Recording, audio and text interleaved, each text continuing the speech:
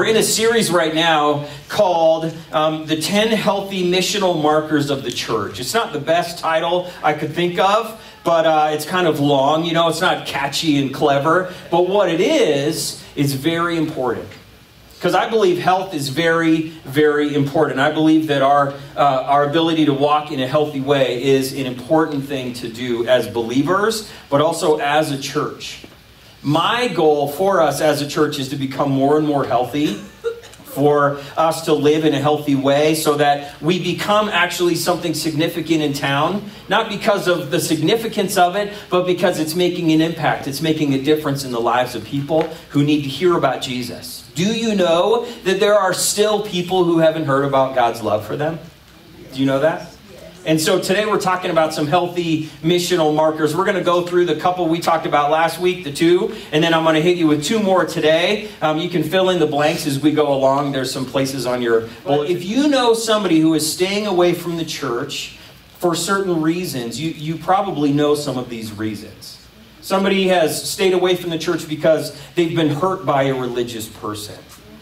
Maybe they're staying away from the church because they've been hurt by a religious situation or something that they heard on the news or the radio about how Christians behave, so they stay away from the church organization. Or maybe some Christians stay away from the church because uh, bad things have uh, come with the church, like all of the rules and all the status and all of the everything that sort of the organization includes, and so people kind of keep their distance. One of the main things that I hear in culture a lot are uh, these three words. Tell me if you haven't heard these words before. Don't judge me. Doesn't the culture say, don't judge me? Just love me. If you love God and you're supposed to love, God loves you, well, then just love me for who I am and don't judge me. Interesting, huh? And as a Christian, as a pastor, as a person, I'm supposed to uh, love people, but I'm also supposed to point them toward God so that God can do the work in their life and God can transform them the way He wants to. I've got friends that are gay. I've got friends that are in gay relationships. I've got friends that are coming out of a lifestyle. I've got friends that are, I've got all kinds of friends, and a lot of them don't like the way the culture pushes uh, or, or, the Christian world pushes against them and tells them all the rules. I'm not here to tell you what's right and wrong. I know what's right and wrong in Scripture. I believe what, what God says is true and accurate. But God is the one who works on transforming people. Amen? Yeah. And if I'm the one that is pointing fingers and judging and pushing people away, then of course they're not going to come to a relationship with God because I've gotten in the way. And God wants me to be healthy. God wants us to be a healthy church and have these missional healthy markers so that we might help people see the grace that God offers.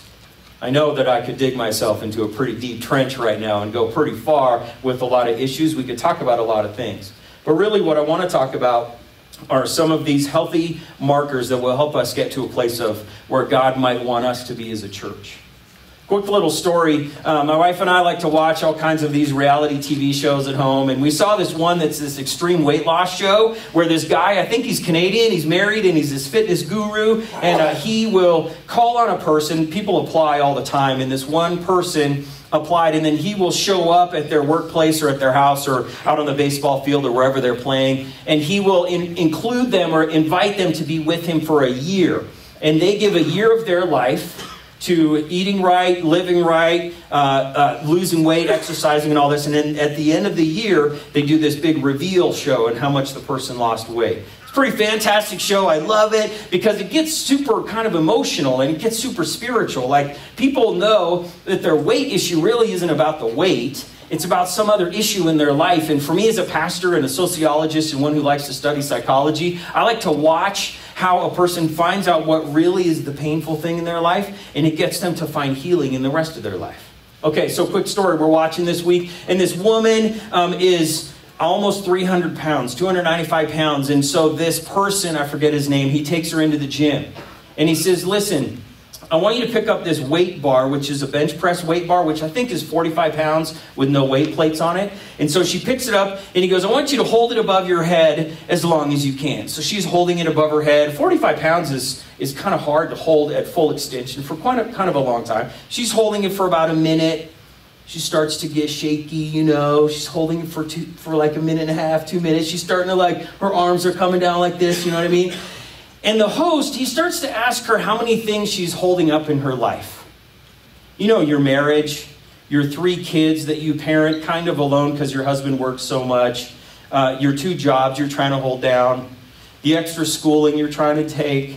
Oh, yeah, and you're trying to eat right, and you're trying to exercise, and how many things are you going to hold up? And she's like, they do a close up on her. She's holding this bar, and it's slowly coming down and coming down. Finally, she starts crying, and she can't hold the bar anymore. And he's like, come on, hold it up. You got to hold your life together, you know. And he's kind of barking at her, and she finally drops the bar and goes down to her knees and starts crying. And the host, he says to her, Listen, there's a time in your life where you do everything for everybody else and you forget to take care of yourself.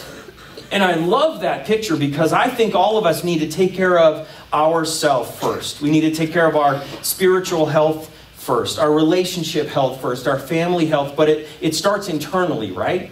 And that's the first two marks of uh, the 10 missional healthy markers the first one was, if you remember last week, the centrality of the Word of God. It's written on your notes there. God's Word must be central in our life, and it is uh, it's pivotal to absolutely everything else. If you don't ground your life on the Word of God, then really you can't have any direction or you don't have a foundation on anything if you're going to walk as a healthy believer. And number two was a life transforming walk with Jesus. We talked about what life transformation means. It means humbly submitting to Jesus, it means listening to Him, obeying what He says, when He says, how the Spirit works with you, and our life begins to transform. But I believe as a healthy Christian person, as a healthy church, we need to move from only focusing on ourselves to what? Focusing on other people as well.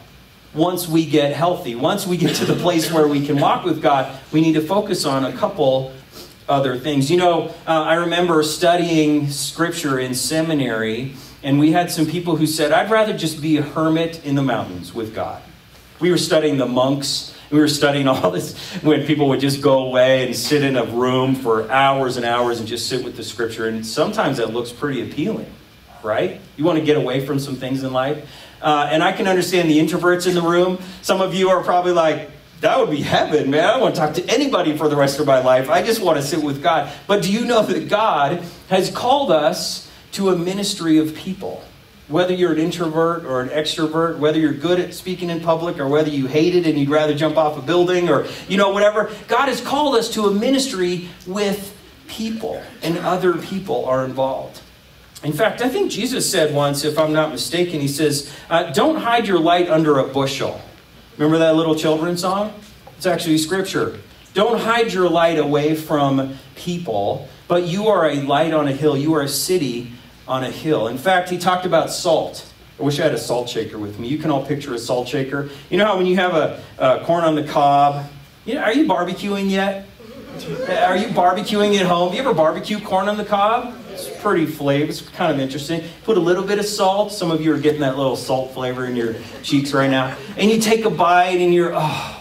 Some of you are heart patients. You've been in the, the medical, uh, you've been uh, seeing for medical issues of like too much salt in your life. Um, God, Jesus said, when you have too much salt, it can actually be bad for you. Jesus, I, I can picture the salt shaker top falling off and all of the salt pouring onto your uh, corn. When I was seven years old, I lived in Alaska. My dad's a missionary pilot. And I remember that my parents went away for a dinner date, and this neighbor came over and watched us, me, my two brothers, and my sister. And we had this family dinner with the neighbors who were, they cooked spaghetti. They made spaghetti, and we had salad. I don't know why I'm telling you this. But uh, I was pouring my salad dressing on my salad, and my brother said something, so I turned to talk to him, and I ended up pouring ranch dressing all over my spaghetti. And the host guy, I think his name was Ken, he says, You have to eat the spaghetti. And he made me eat it. And it was like full of ranch dressing, and then it was full, oh, it was awful. I guess I can't forget it. I need to go to rehab or something. But um, when you are too salty, in other words, when you do too much, it can become kind of gruesome, kind of gross, kind of not healthy, right?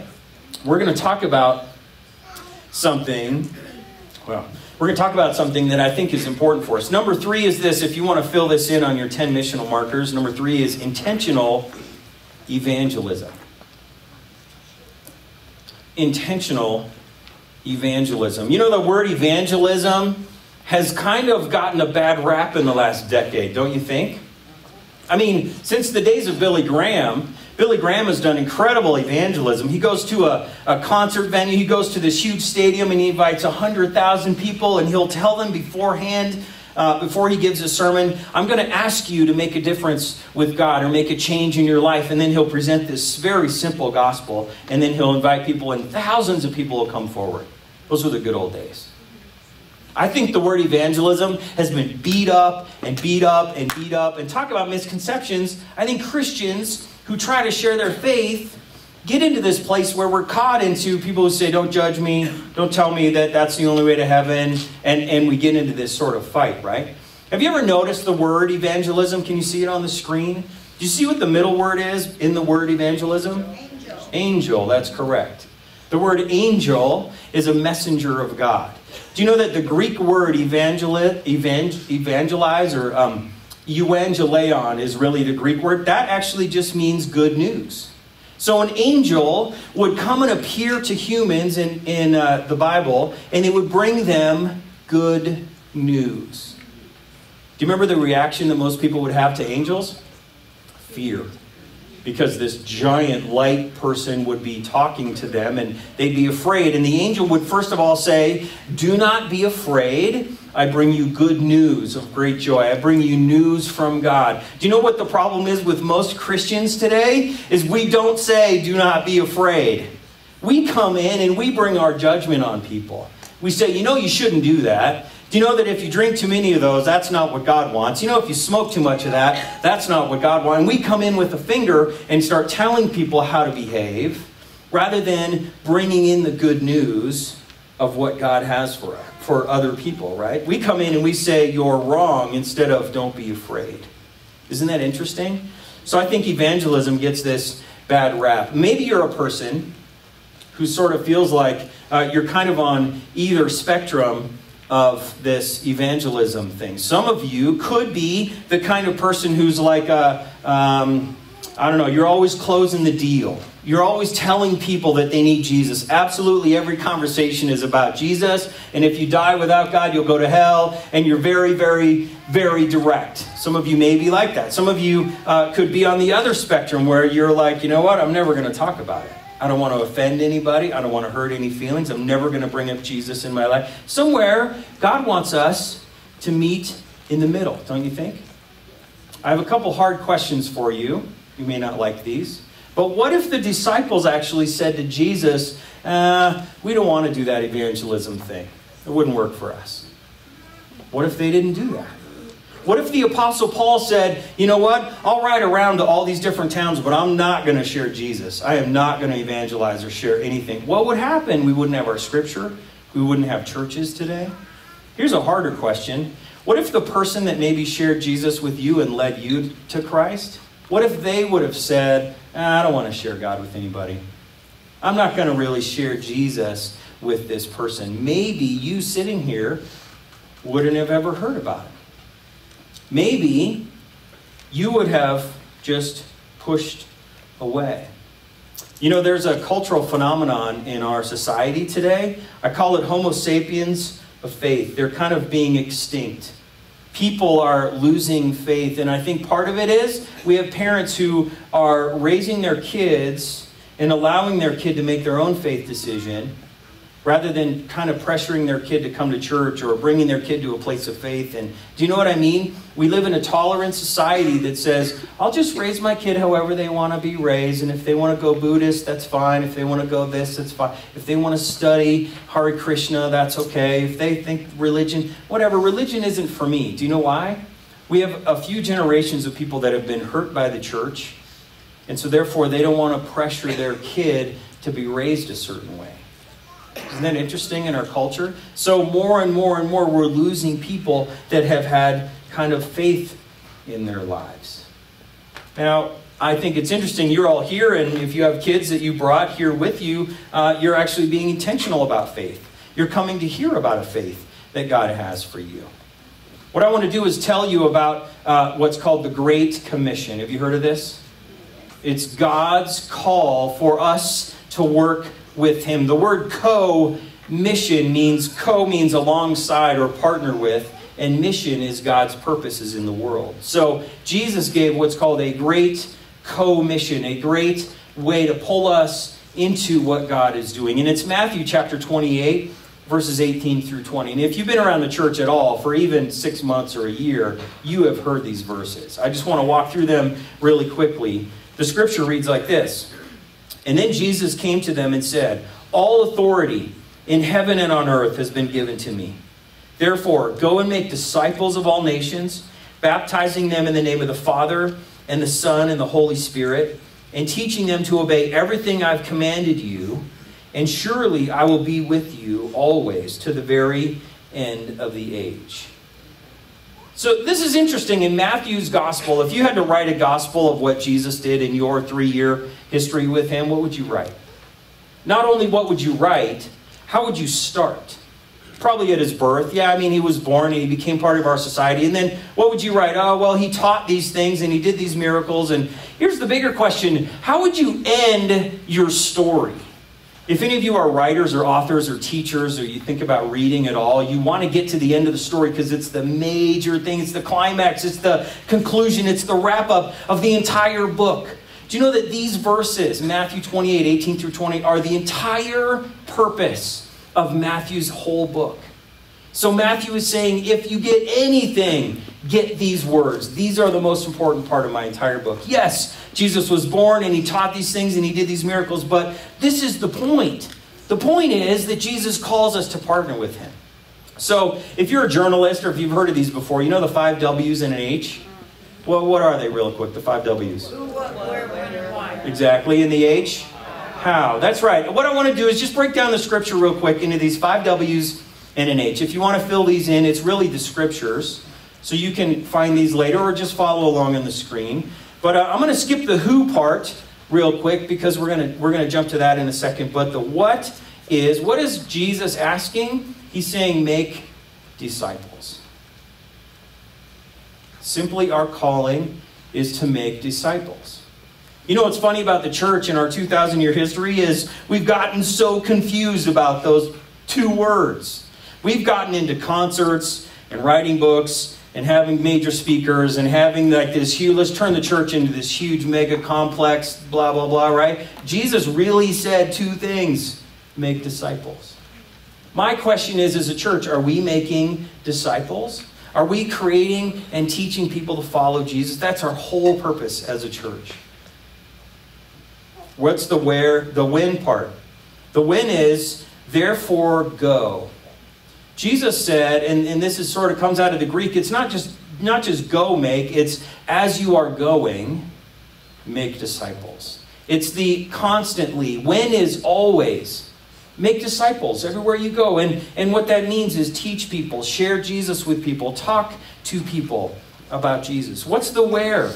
The where is of all nations. I did a little research this week. I looked up the word all. I think all means everything and everywhere and every person and every nation and every culture, and it doesn't leave anybody out. You know, there's a lot of weird culture going on with how North Korea is capturing Christians and not letting them have a church, right? And there's other places in Europe that are trying to close down the Gospels. And there's places in Africa that they're closing down the Gospels. There's all these places. But God says, go into all nations. Don't just sit here in your little town, go to everywhere. But it also means be where people are and include God in a conversation. Here's the why. I like to always ask the why part.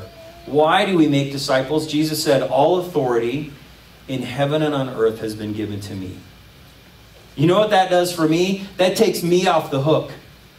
I make disciples. Why? Because Jesus said so, not because I feel like I've got this great ambition or this great desire I have to. It's because Jesus said he's got all authority. How did he get the authority? He came to earth, he died for us, and not only that, he resurrected from the dead. So he has this authority from God. When God sent him to heaven, he didn't just say, Okay, I'm going to send you alone to go on mission, but when you go and complete it, he says, I will I'll, walk with you. And your completion of the mission gives you this authority as God over all of us. That's why we do this. And here's the how. It's really kind of simple. There's two ways to make disciples. One of them is to baptize people, and another way is to teach everything Jesus commanded. Teach everything Jesus commands. Kind of a lot. Jesus said a lot. But for a disciple to really know God, um, to be baptized is not about salvation, but it's about learning to commit and be a follower of Jesus, to commit to a church, commit to a community, to follow after what God calls us to. And to teach them everything I commanded you. You know, if you just stayed in the book of Matthew, in fact, if you just stayed in Matthew 5, 6, and 7, you could teach most of everything that Jesus commanded. It's beautiful what, what Jesus calls us to. And let me get to the who. Let me jump up to the who. This is part of Scripture as well. In that verse, it says, Surely I am with you always to the very end of the age. But how can Jesus be with us? Didn't he die and resurrect and go to heaven? What did he give us? The Holy Spirit. Do you know that today is the day called Pentecost? Have you heard of this before? This is uh, the 50th day from the Passover, which we celebrate as Easter. The Hebrews, the Jewish Israel people, would call it Passover feast. And 50 days after was a one day celebration. In the Old Testament, it was a one day celebration of kind of the barley uh, harvest. It was this opportunity to celebrate with this feast. And it was Pentecost. Penta means five, and cost is like multiples of 10. So it's 50. It just means 50, really. And so it's 50 days after the resurrection of Jesus. And so um, in the Old Testament, here's this cool picture. I, I, always love to dig into what God actually did in the Old Testament. Do you remember when uh, the Jewish nation was captured by Egypt and they were enslaved to Egypt for 400 years? Well, there was a thing called Passover. That's when the Holy Spirit came in to the town and it passed over the town. And anybody who didn't put blood from a lamb on their doorpost would their life would be taken. But if you put blood in your doorpost, the Holy Spirit would pass over you, and then you would be free to live your life. You would be saved. Well, then all of the Hebrew people were released from Egypt. This whole thing with Pharaoh and Moses and all that, and you saw the Prince of Egypt and all that stuff. Well, it's actually true in Scripture. And they go through the Red Sea, and they're in this community in the desert for 40 years.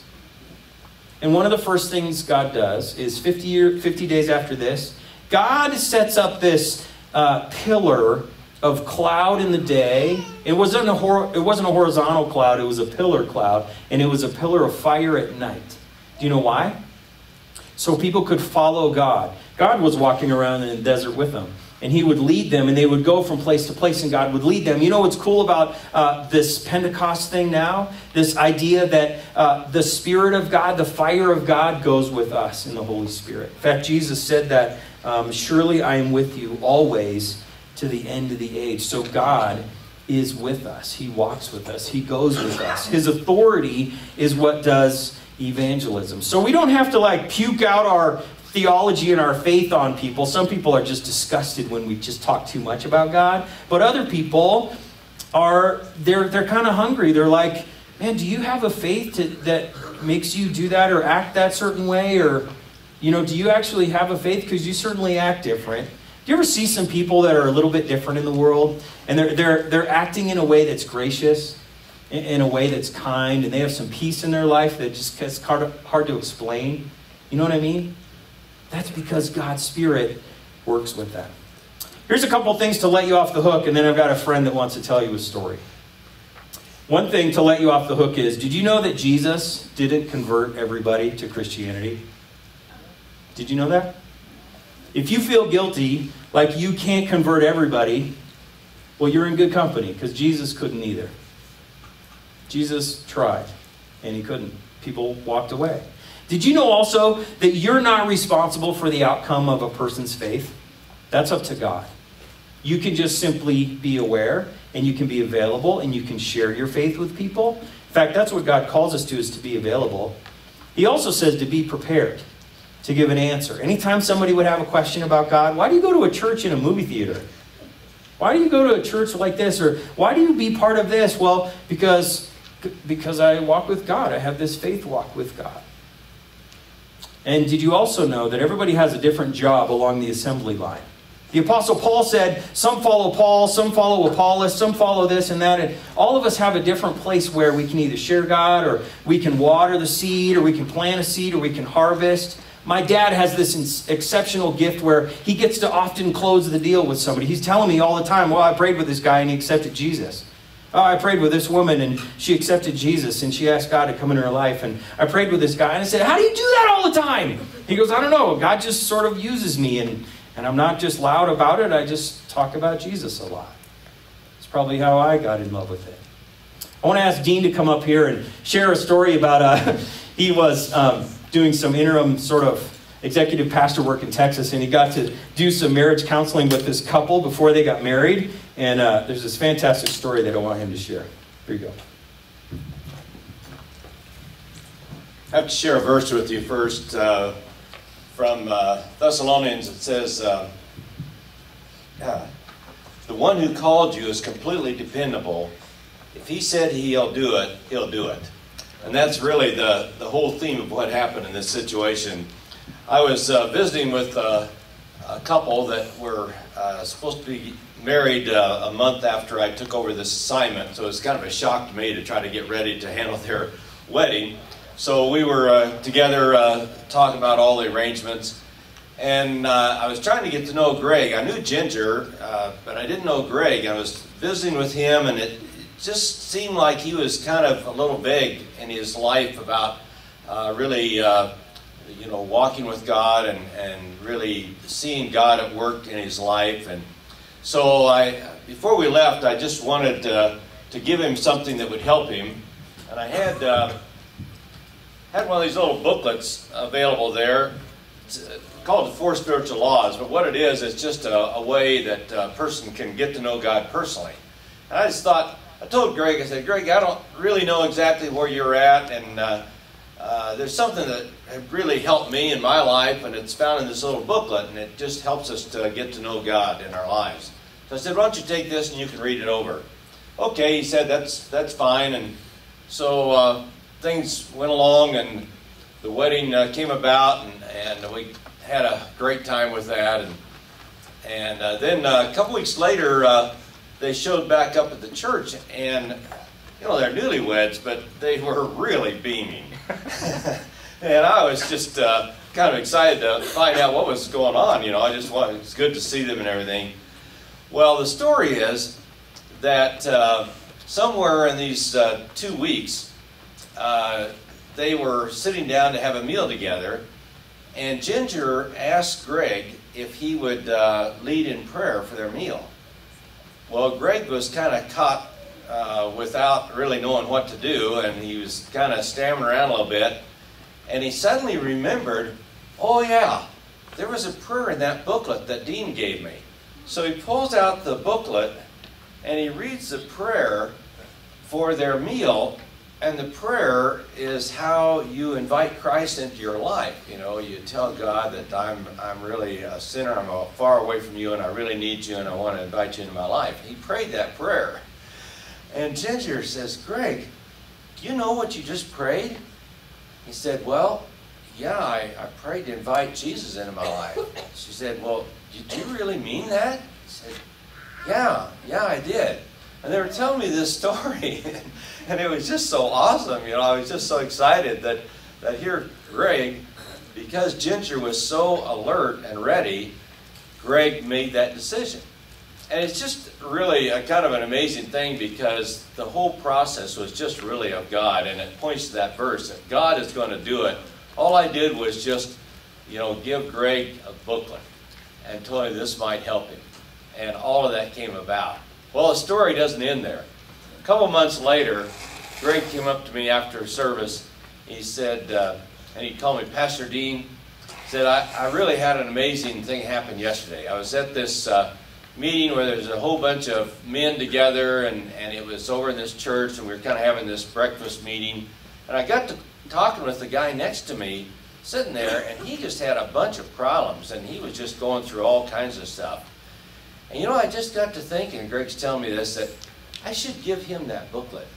So he's coming to me and he says, You know, you'll never believe, Pastor Dean, I gave the booklet away. Isn't that awesome?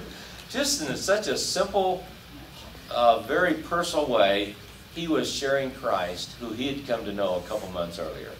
I think that, that just shows that if God's in it, it's going to happen if we're just available and we just uh, ask God to use us. So that's what the story was all about. Amen. Thank you.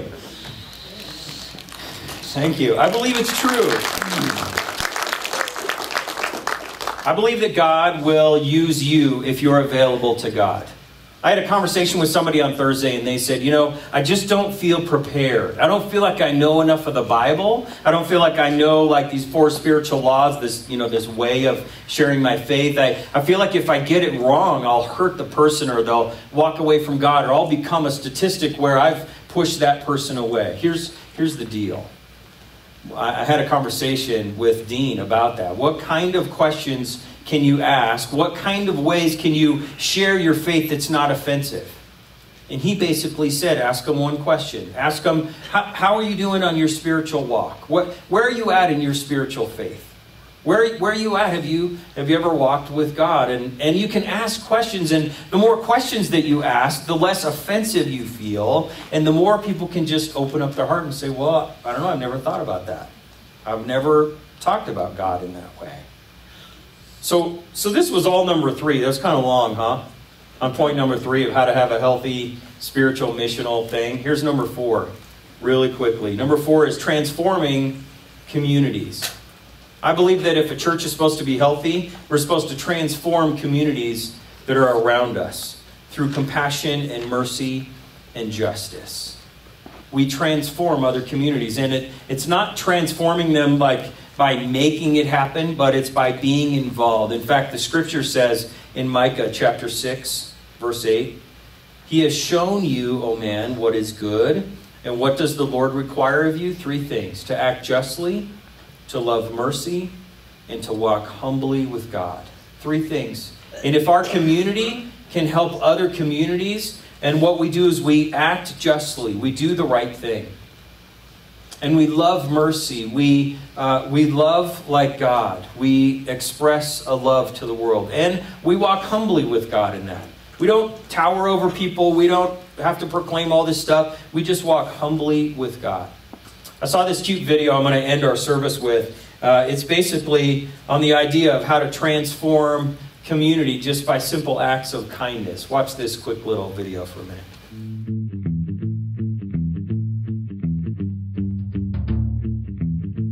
My name is Greg Hagwood, and I'm the Plumas County Sheriff. I've been here with the Sheriff's Department for 26 years. Law enforcement is uh, serious work. We deal with serious issues. That looks very serious. Let's do this one right here. This blue Suburban. I don't think we're going to be able to let that go. Let's light that up. Let's do this one right here.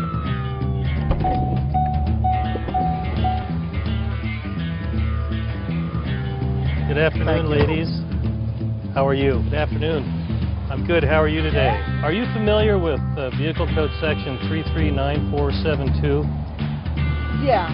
No. No. How many people do we have on board? You and, and the dog. Okay. Can you just just wait one moment? I'll be right back.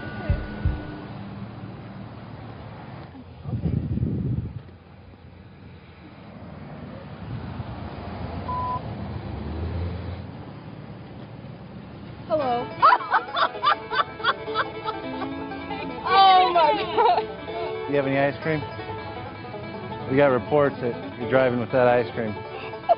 Do you have ice cream on board? You cannot drive with that ice cream. Ice cream, there you are. Are those real tears? Can I see your sunglasses off? Yeah, all right, good, good. Well, I didn't mean to make you cry. Hey, thanks a lot, guys. We appreciate it. And dog, stop being so serious. Got it? People need to lighten up a little bit. Absolutely. It's getting to be a real problem here.